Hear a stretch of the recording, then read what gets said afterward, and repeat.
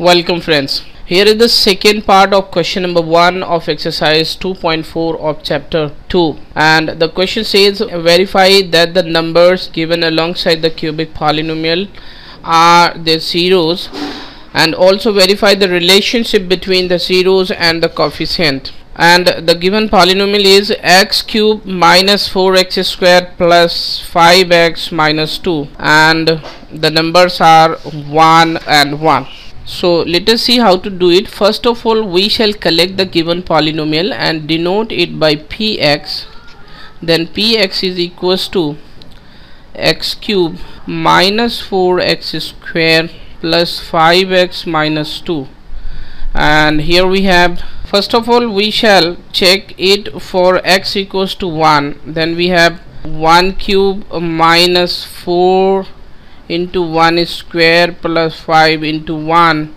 minus 2 then we have 1 minus 4 plus 5 minus 2 this means 6 minus 6 and this is equals to 0 therefore x equals to 1 is the 0 of the given polynomial px. And now we shall check it for x equals to 2 then it will be 2 cube minus 4 into 2 square plus 5 into 2 minus 2 then we have 8 minus 16 plus 10 minus 2 then we have 18 minus 18 and this is equals to 0 therefore x equals to 2 is also 0 of the given polynomial px and let we denote it by alpha. Alpha is equals to 1 and beta is 2 and gamma is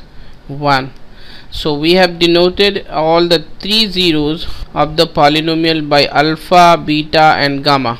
Now we shall comparing the given polynomial with the standard form of the cubic polynomial and that is a x cube plus bx square plus cx plus d this is the standard form of any cubic polynomial.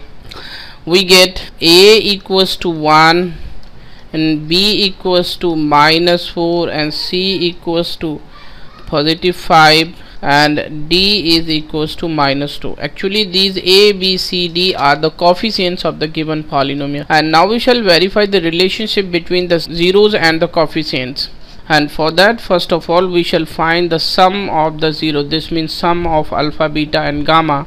Then we have 1 plus 2 plus 1 this means 4 and this 4 can be written as 4 over 1 or we can write it as minus into minus 4 over 1 and this is equals to minus b over a. B is the coefficient of x square and a the coefficient of x cube. So this relationship is verified.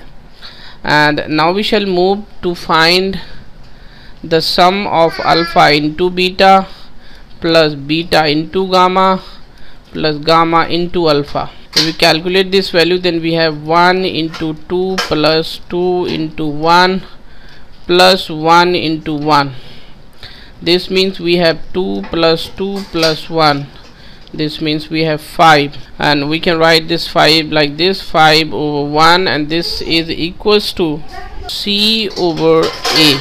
So this relationship is also verified and now we shall move to find the product of alpha beta and gamma.